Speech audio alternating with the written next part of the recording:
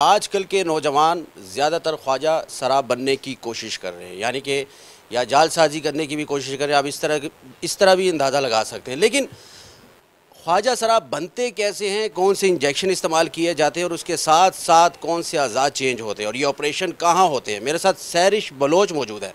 आ, मैं इसे सारी तफसीलात लूँगा। ये ख्वाजा सरा है और ये सारी हकीकत बताएगी। और ये भी इनसे पूछूँगा कि गुरु का क्या किरदार होता है इनकी ज़िंदगी में। जी कैसे आप? जी अस्सलाम वालेकुम मैं हूँ सैरिश बलोच दाता दरबार लाहौर से।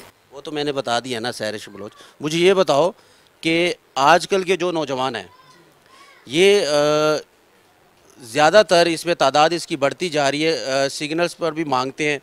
अगर उनकी इन्वेस्टिगेशन की जाए तो वो लड़के निकल आते हैं। ये शौक बढ़ता क्यों जा रहा है? जी इसमें काफ़ी इशू होते हैं। आपको क्या क्या बताऊँ? काफ़ी ज़्यादा है। सब बता दो। जी देखो मेन चीज़ ये होती है हमारे में जो मसलन के जनाना टाइप होते हैं अच्छा। तो वो ऑपरेशन करवा लेते हैं। जनाना ख्वाजा सरा नहीं होता? जनाना एक रूह होती है। मसलन मर्दों में शामिल होता है शादी बच्चे भी होते हैं। जनाना के बच्चे भी होते हैं और एक रूह होती है? रूह होती है। मसलन के स्टाइल स्टूल इस तरह के होते हैं।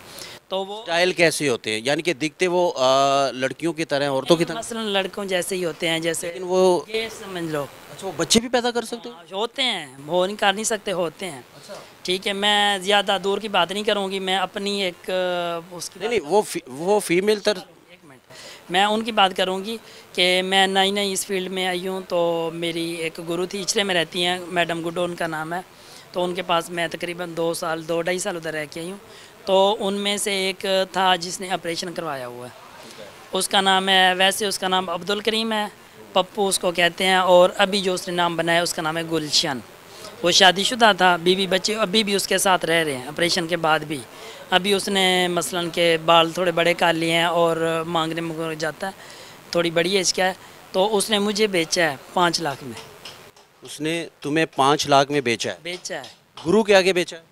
मसलन के वो हमारा बड़ा बन गया जैसे आप देख लो कि आपके अबू हैं ठीक है अगर वो दुनिया में नहीं होते तो जो आपके ताए होंगे तो वो कहेंगे अभी ये मेरे बच्चे हो गए। तो वो जो ताया है तो आपको किसी तरह का भी वो कुछ कर सकता है। जो बड़ा के वो ताया वो आपको बेच भी सकता हाँ। तो इस तरह के थे वो कहते कि मैं आपकी बड़ी गुरु हूँ और उसने मुझे पाँच लाख रुपए में आगे भेज दिया। तो फिर मैंने मिन्नत माफ़ी की तो उसने सत्तर हज़ार मुझसे ले के मुझे वापस खा लिया, मसलन अपने घर में दोबारा बिठा दिया, सत्तर हज़ार ले के तुम्हें गुरु के आगे पाँच लाख में बेचा और तुमने सत्तर हज़ार पे करके माफ़ी मांग के, माफ़ी मांगना ज़रूरी थी? क्योंकि उन्होंने बेच दिया था। अगर मैं माफ़ी नहीं मांगती तो पाँच लाख में अगर जिसको उसने मुझे दिया था पाँच लाख में तो वो पाँच लाख में जिसने लिया था वो उसी दिन मुझे दस लाख में बेचना था। ये इनकी एक रस्म रिवाज है। मसला ये तो बिज़नेस हो गया कारोबार रस्म रिवाज तो ऐसे नहीं होते। बता रही हूँ तफसील से। तो फिर यही होते हैं कि वो ख़रीदो फरोख्त करते हैं। मेरी गुरु हैं अभी गुरु सभा गोल इस्लामाबाद से हैं तो उन्होंने खोला है आज़ाद धड़ा जो ख़रीदो फरोख्त करते हैं तो उनको वो जो है वो करते हैं मसलन के कानूनी कार्रवाई करते हैं और उनको ये बंद करवा ख्वाजा सरा ये पूरे लाहौर में ऐसा हो रहा है कि पूरे पाकिस्तान में? ऐसा हो रहा है। यानी कि ख्वाजा सरा बिकता है? बिकता है और उसको गुरु उसको गुरु खरीदता है? जी बेचने वाले वो होते हैं जो खुद शादीशुदा बीवी बच्चों वाले हो के वो दूसरे के बच्चों को बेचते हैं। अच्छा। मेरे पास मैं अभी दिखाती हूँ आपको मेरे पास सरकारी ये कागज़ हैं जो कानून पास हुआ है 2018 में कि इंसान हाँ इंसान की खरीदो फरोख्त नहीं हो सकती। लेकिन उसके बावजूद हर जगह पे हो रहे हैं कोई किसी के खिलाफ आवाज़ नहीं उठा रहा। एक दिन में पता नहीं कितने लोगों को बेचा जाता है। बेचने का मकसद यही है कि अभी मुझे उसने बेचा था अगर मुझे उसने बेच दिया तो मैं आगे जो गुरु के पास जाना था उस वो मुझे गलत काम पे लगा है वो मुझे कहीं चोरियाँ करके ले आओ कि ये जो मैंने पाँच लाख उसने पाँच लाख पूरा पूरा करना है ना वो चाहे तुमसे डांस करवाए जिसम फरोशी का धंधा करवाए। वो लेके उससे चेले से वो पैसे लेके उसके बाद फिर उसने आगे बेचना है उसको। उसके मसलन के एक तैबे हो के रहना है, जो उसने कहना है, ये गलत है तो गलत कर दो। जो उसने कहना है, ठीक है तो गलत को भी ठीक कर दो। अगर थोड़ी सी नाफरमानी करनी है, उसने उसका तो एक मसलन के उसके पास है मुद्दा है, वो उसको फ़ौर भेज देंगे। बहाना होगा कि इसने मेरी गुस्ताखी की है। इसको आगे भेज दी मसलन जिसने पाँच लाख रुपये में लिया था, वो पाँच पाँच लाख चेले से वसूल कर लिए।